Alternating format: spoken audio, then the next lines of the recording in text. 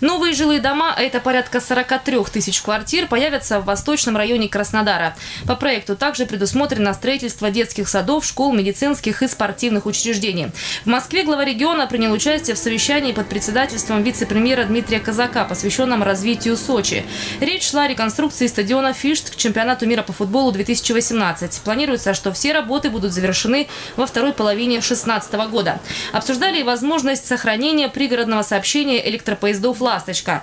Транспорт удобный и необходим с учетом курортного сезона, а также во время проведения масштабных мероприятий в Меретинской низменности, таких как Гран-при Формулы-1.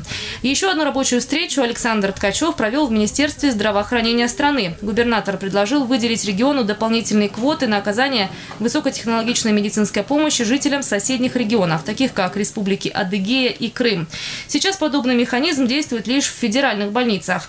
Но учитывая потенциал кубанской медицины, в шести краевых клиниках могут оказать помощь 12 тысячам таких пациентов.